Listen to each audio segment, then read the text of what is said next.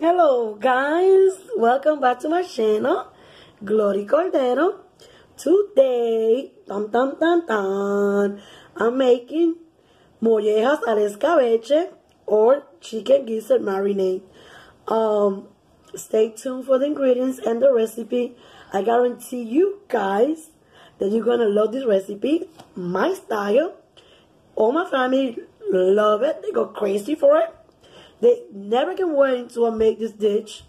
And for this dish, it takes a lot of patience. It's easy to do, but it, takes, it needs a lot of patience. If you're not a patience person, this dish is not for you. Stay tuned for the ingredients and the recipe. Alright guys, for my chicken gizzards, I'm about to be using four packs of these chicken gizzards. Um, the only reason I'm using four packs is because I'm doing this for my job and it's a lot of people there. But if you got little bit people in your house, just use two packs. Um, and reduce all the ingredients in half. I'm going to be using caldo de pollo, chicken bouillon, or sopita. Um, it doesn't matter how you call it, at the end of the road, it's the same. I'm going to be using extra virgin olive oil. Um, I'm going to be using salt. I'm going to be using one cassava or a piece of cassava or yuca. I'm going to be using like about eight green bananas, the little ones. Um, I'm going to be using like about one cup of white vinegar. I'm going to be using garlic powder, oregano, black pepper, bay leaf, three whole onions, and we're going to cut it in pieces, like in round pieces. We're going to be using Spanish salad olive. We're going to be using adobo. So these are my main ingredients. See you in a moment for the recipe. Alright guys, first thing we want to do is boil some water in a big pot. The egg, all you gizzards fit in. We're going to put a little bit of salt to taste. We're going to put a little bit of adobo. We're going to put oregano to taste.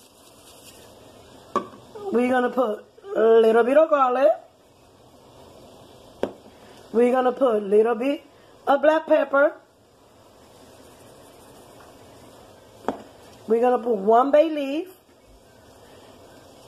We're going to throw the two cubitos or the sopita or caldo de pollo in. From one cup of vinegar, we're going to put half just to tenderize the meat. And we're going to start throwing our gizzards in.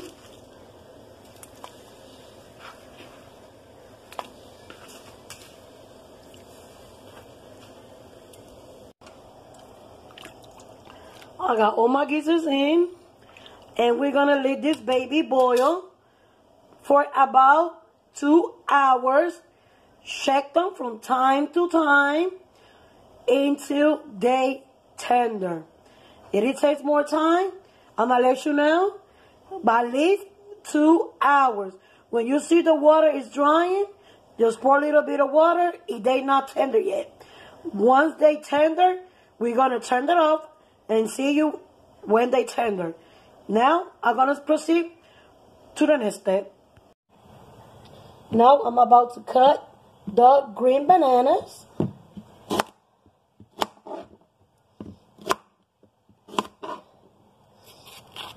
I'm going to make a slit in the middle.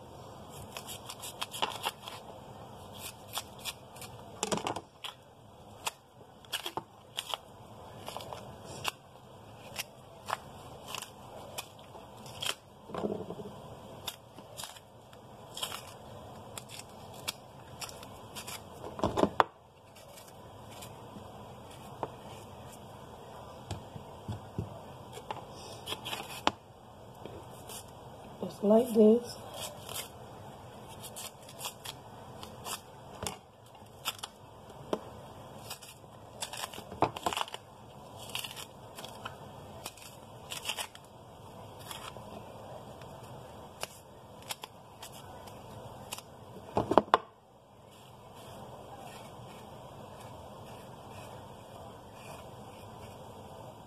and we're gonna do this until they all look like this you a moment. I'm about to cut my cassava. Now, for the cassava, we're gonna grab the big piece. I'm gonna cut it in half, just like this.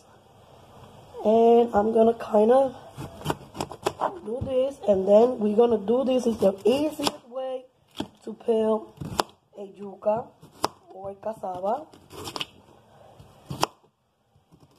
It's the same thing. This is my like the easiest way that I found for me to peel it. So easy. See? We're gonna do this to the rest of the cassava. Then we're gonna chop it up in pieces like this. I'm gonna show you one moment. Like this. Like this.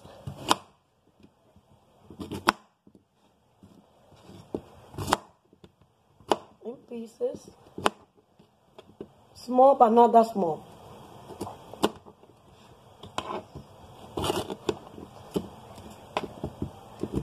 And we're gonna proceed to the next step. Alright guys, now I have two pots of boiling waters, as you can see. I'm gonna add salt to both of them. to taste, like about two tablespoons. In the small one, I'm just gonna put my cassava, just like that. And in the big one, I'm gonna put my guineos, just like that. And I'm gonna let them boil for at least 30 minutes each or until they get soft. So you know moment when they done. Alright guys, my cassava are done. My green bananas are done. I'ma turn these babies off. I'ma let them cool down. I'ma drain them first. Then I'm gonna let them cool down and see you for the next step. Alright guys, while my guineos and my cassava cools down, I'm to be making the really good oil that we're to pour in the top of our gizzards when they done. I got the whole three onions already cut and chopped in slices. You can cut them any way you want to. We're going to put a half a cup of white vinegar. We're going to throw four bay leaf.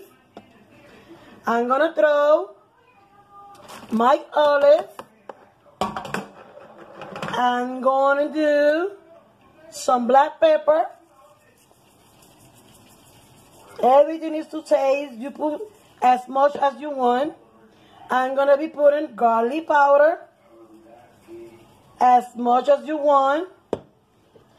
I'm going to be putting oregano.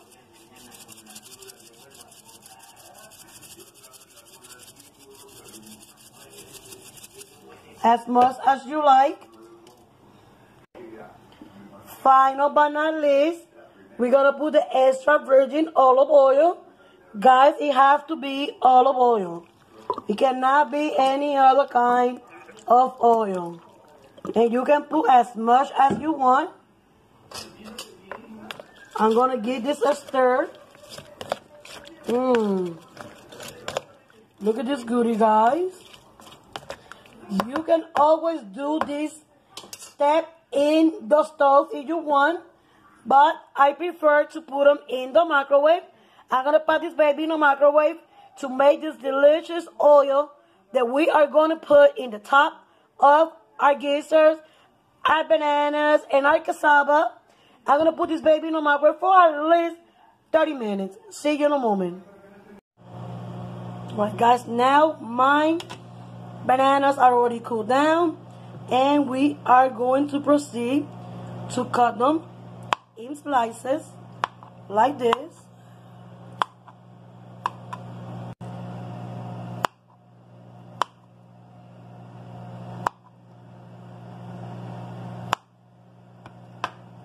Into they'll look like that. We're gonna put it aside. Same thing for the cassava. My cassava is already dry. I'm drained with no water. We're just gonna grab one and we're just gonna cut it in pieces like this. It doesn't matter how small you want them. It's always to your discretion, guys. How small you want them.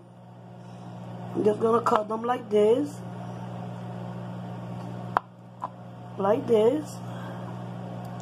Into they all look like this and we're gonna put them in the side and I'm gonna show you how we're gonna put this baby together in a moment. Alright guys, after 30 minutes, look at this beauty. Mm. Look at this beauty. Mm. This is what I'm talking about. My kids love my chicken gizzards. So this is the oil with the onions and the olive and the bay leaf and all the good stuff that I just put it in the microwave for 30 minutes. This is my green bananas and my cassava. Um, I'm going to set this in the side until my gizzards are my gizzards are still not ready. They already been boiling for at least I can say they be boiling for one hour. We're going to leave them for another hour or so. So I'll see you in a moment when these babies are tender to teach you how to cut them in pieces and assemble this chicken gizzard or escabeche de guineitos con mollejas y mi toque especial, yuca. Alright guys, after two hours, my gizzards are already tender. I'm about to drain the water. Let me turn the stove off. I'm going to drain the water. And I'm going to show you how to cut them in pieces. And then we're going to put this baby together. And I'll see you in a moment. Hey guys, my chicken gizzards are already super tender. And I'm to show you how to cut them. Just like this. Just to cut them. See? They so tender. Look. You can cut them really easy. Easy. Really easy. Since they already really tender, they easy to work with. And guys, I'm going to show you something. If you get a gizzard that look like this, they got this hard part in it, we only going to take it out, just like this, throw away. No big deal. And we're going to cut all the gizzards into they all look like this. Alright guys, this is how my chicken gizzards look after I cut them in pieces. Gorgeous. I have my olive oil ready. I have the goodness that we did earlier, remember?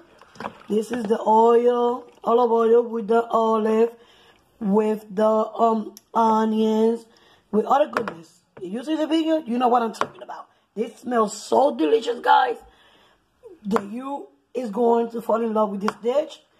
And I also have my green bananas with my cassava, my guineo, con mi yuca. And we have a little bit of garlic and a little bit of black pepper just to taste for the final touch. I'm about to assemble this baby inside the oil with the onions and the goodies.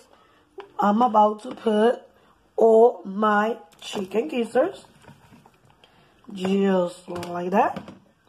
And we're to give it a stir. Mm-mm-mm, this smells so delicious. And I'm about to throw my cassava and my guineos in just like that. Just like that. And this one the oil no not the oil. First the garlic's gonna come up. We're gonna put as much as you like. This to taste black pepper. I know we already put some earlier but it's never too much of these ingredients when you're doing this dish. And we're gonna put of course our olive oil just like this. This is to retouch and we about to incorporate all the ingredients together. We're gonna give it a stir a big stir and we're gonna incorporate all the ingredients together. After we incorporate all the goodness, look at this beauty. Mm-hmm. Jessica, this I did this dish for Jessica too. My daughter Pookie, she loves chicken gizzards the way I do it. Mm-mm. Look at this, Jessica. Take the first bite. Take the first bite, Jessica. Mm-mm-mm. But this is just not done yet. Don't think because we put all the ingredients together. It's done. Mm, look at this beauty. Mm-mm-mm. We about to put this in the ditch. I'm using this one, the clear one. You can use whatever you have. I'm using the clear one. I'm about to put this baby in here. I am about to pour this goodness in my ditch. Just like that. Mmm.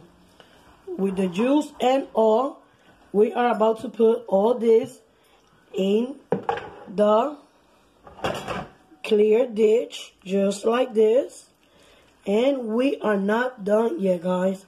I'm about to cover this baby.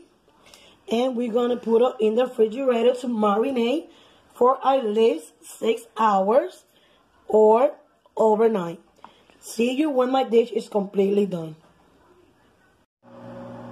Alright guys, after six hours in the refrigerator, this is my final result. Mmm, how gorgeous this looks. Mm -mm -mm. You can see all my oil, all the goodness. Mmm. This is perfect for the holiday, any parties, breakfast, lunch, dinner, brunch.